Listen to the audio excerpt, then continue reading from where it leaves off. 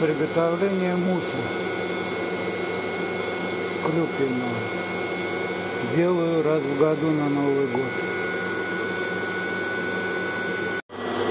Вот сколько было и сколько уже становится. Ну, уже близится к концу. Вот столько получилось. Теперь надо разлить. Вот столько получилось. Украшение можно делать любое. Из чего есть клубника, зелень какая-то, мята. Ну вот.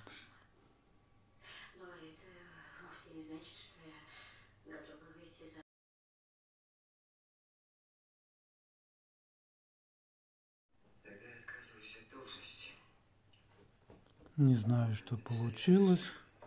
Делаю первый раз. Ну, может быть, не все удачно. Но вот таким образом получилось.